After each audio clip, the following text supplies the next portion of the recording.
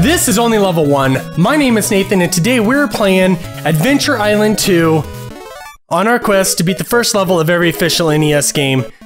I remember renting this game a couple times, this one as well as all the other ones, and I absolutely loved the Adventure Island games. Very fun. So uh, you eventually get a hammer to start throwing around and you get things to write on. You're this little caveman guy with a baseball hat, which is awesome. Collecting fruit, you have this egg, there's my, uh, my hammers. There we go. Pokemon Go?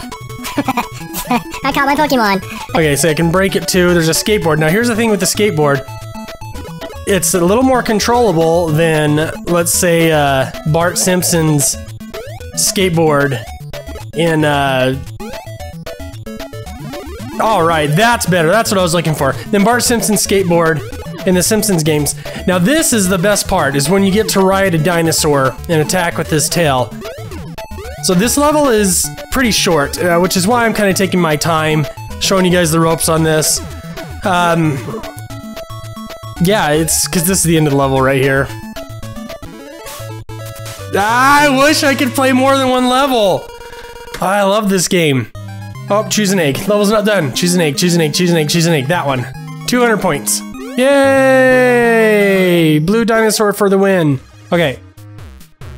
So that was the first level. I wish I could continue on, but this is only level one. So we are just doing the first level. Join me tomorrow on a different game and a different level as we continue our quest to beat every first level of every official NES game. I will see you tomorrow. Do not forget to like and subscribe. The biscuit, best the biscuit. Don't forget to like and subscribe. I'll see you tomorrow. Bye.